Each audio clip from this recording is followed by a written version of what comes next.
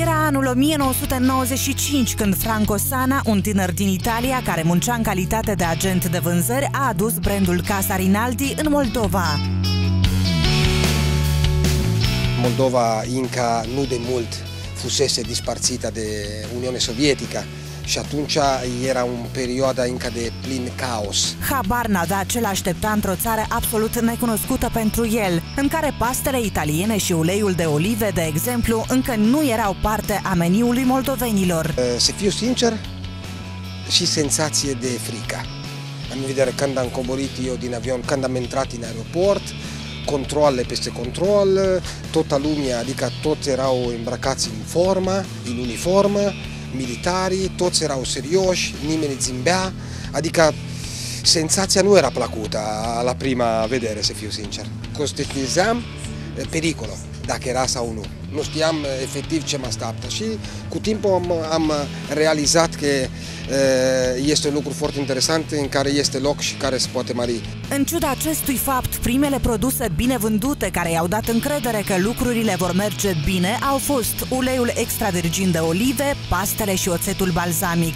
De atunci au trecut 20 de ani, iar vitrinele brandului Casa Rinaldi au devenit și mai bogate în produse de calitate italiană. Numărul de produse aduse în Moldova a crescut considerabil. Asta pe de o parte este dovada faptului că e, și moldovenii sunt atenți și încep să apreciază ce mănâncă la masă. De calitatea asta, Rosso, care merge foarte bine, are vinzării într-adevăr excepționale, fiindcă prețul lui este foarte, foarte accesibil, cu mult mai jos comparativ de celelalte cafee italianești care sunt uh, italiene, care sunt aduse.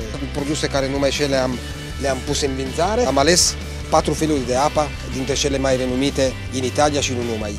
Avem apa lauretana, care este o apă, apa cea mai ușoară, uitându-se la, la, la reziduul fix. Asta e parametrul de bază pentru a înțelege dacă apa e mai bună sau nu. Asta are 14 mg pe litru doar. Aqua San Gemini care este sfătuită pentru copii în dezvoltare. Când au de la 0 la 3 ani, este apa cea mai considerată cea mai optimă. Pe urmă avem Uliveto, care este apa care la noi este cea mai consumată de, de către sportivi. Insuși este apa folosită de echipa națională de fotbal. La masterclass-urile realizate împreună cu Casa Rinaldi am învățat ce sunt anghinarele, fructele capere. Am aflat de unde se ia prosciutto și brânza parmigiano. Am gătit caneloni cu ricota și praz, iar recent am gustat alături de Victoria Bucătaru, directorul Muzefem, din paste cu cernale naturale din Caracatițe. Gama de la Casa Rinaldi este o pastă destul de scumpă și nu pentru toate buzdarele. Și asta merg foarte bine, din exemplu, alaturate de ceva legat de pește, da? cum ar fi calamari sau crevete. Mm. Foarte bun. Recomand gust aparte, o aromă, dar deloc insistent, adică nu deranjează cu nimic pentru cei care s-au obișnuit cu astea obișnuite.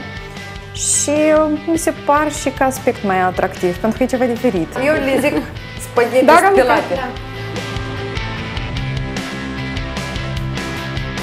Produsele marca Casa Rinaldi le poți găsi în cele mai mari rețele de supermarketuri, iar de sărbători ești asigurat și cu daruri, seturi foarte atractive cu produsele de marcă ale companiei. Asta este un produs care în luna februarie înregistrează cele mai bune vinzări, cu, după cum vedeți sunt, este pasta colorată în forma de inimioare, așa că e potrivită pentru ziua îndrăgostiților și pe toată perioada februarie. Chiar am niște clienți care la restaurant schimbă meniul luna februarie și pune, include pasta în forma de inimioare colorată.